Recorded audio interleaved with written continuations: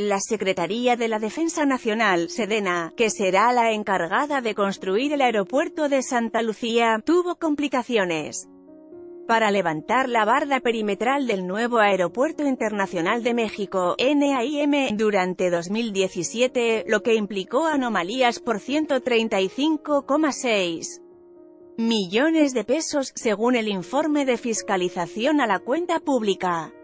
Además de irregularidades en el uso de los recursos, la Auditoría Superior de la Federación, ASF, detectó que la Sedena no contó con la capacidad técnica, material y humana para ejecutar la obra, INAI confirma difusión de caso Odebrecht antes de gobierno de AML o Finanzas Fibra E del NAIM se liquidará el 28 de febrero debido a ello, la Secretaría tuvo que recurrir a terceros para el desarrollo de los trabajos de la barda perimetral. Es decir, subcontrató el equivalente a 79,6% del importe total. El ejército solo podía ceder 51% de la construcción. El costo estimado al inicio fue de 1.547 millones de pesos. Al final construir la barda que rodea la obra costó más de 2.900 millones de pesos. La ASF encontró además sobrecostos por más de 60 millones de pesos. Asimismo, otros incrementos en costos debido a cambios en los procesos de construcción por 42,5 millones y reparaciones por 9,6 millones, sin que la obra hubiera sido siquiera entregada. En enero pasado, el presidente Andrés Manuel López Obrador confirmó que la Sedena construirá las pistas en la base militar de Santa Lucía, que junto con las terminales de la Ciudad de México y de Toluca formarán parte de un sistema aeroportuario metropolitano ante la cancelación del NAIM. El informe de fiscalización a la cuenta pública advierte que, la Sedena, no contó con la capacidad técnica, material y humana para ejecutar de manera directa la obra de la barda perimetral en el aeropuerto de Texcoco. Incluso, tras la revisión de los recursos ejercidos por los militares en el NAIM durante 2017, la SF determinó 13 observaciones, de las cuales solo una fue solventada, dos terminaron en recomendaciones y una promoción de responsabilidad administrativa sancionatoria. En otro apartado del informe del resultado de la Fiscalización Superior de la Cuenta Pública 2017. Los auditores señalan sobrecostos por 86,8 millones de pesos en las obras de limpieza, nivelación e instrumentación geotécnica de la Pista 6, así como la pavimentación de caminos, canales y lagunas de regulación del NAIM, también a cargo de la Sedena. Preparan informe de corrupción en sedes ollas fallas en los contratos del ejército para el NAIM no fueron las únicas.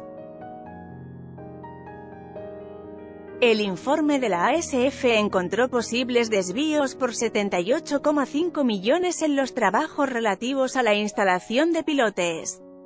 Para la torre de control, el edificio terminal y el centro de transporte terrestre intermodal. La dependencia constató que el Grupo Aeroportuario de la Ciudad de México, GACM, no ejerció adecuadamente 74,5 millones de pesos en la solicitud de insumos adicionales para pilotes, y por 4 millones más en la integración de sus precios unitarios no considerados en el catálogo original. Las irregularidades fueron detectadas tras revisar contratos y convenios del GACM con las empresas GAMI Ingeniería e Instalaciones y Promotora y Consultora de Ingeniería. Asimismo, el GACM pagó 7,6 millones de pesos que no fueron comprobados por el acarreo y descarga de desperdicios fuera del polígono del NAIM.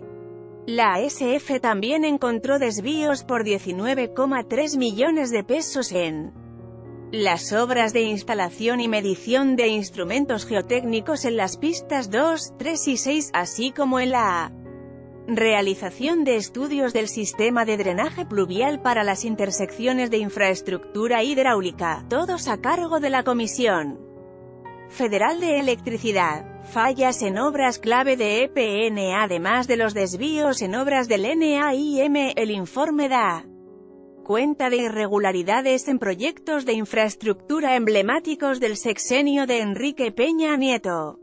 La SF detectó, por ejemplo, pagos indebidos por 109,1 millones de pesos en las obras del tren eléctrico de Guadalajara.